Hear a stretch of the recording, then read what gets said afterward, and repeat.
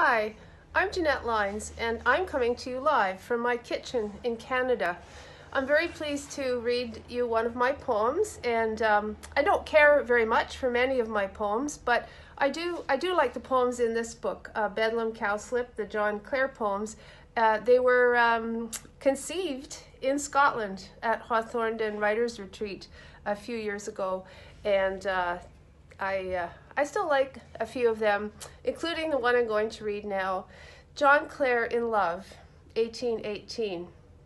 He first saw her from afar, tramping across the field, a kind of moving statue, a girl heavy in good places.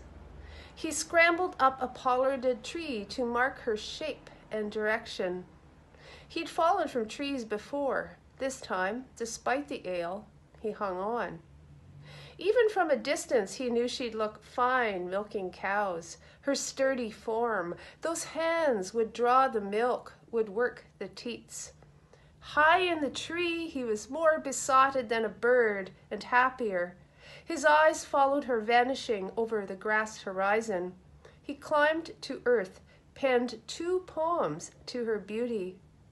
Anyone in love will recognize this, the heart's highest moment, this ledge of clock before the beloved's mouth opens and awry things go and go until the end of time.